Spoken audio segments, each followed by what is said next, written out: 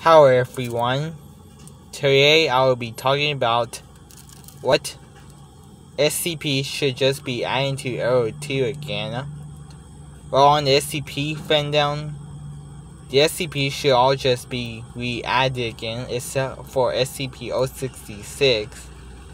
And SCP-1074 should just be removed. And SCP-082 should just be re-added again. And then I actually just think that SCP 682 and 058 should just be playable.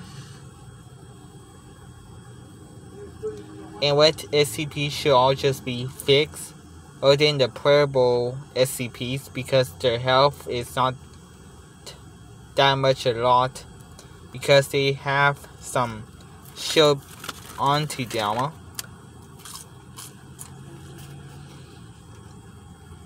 And uh,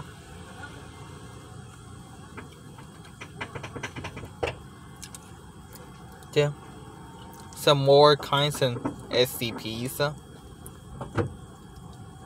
I guess SCP-106 and SCP-989 should just be should just be playable. That's it. Goodbye.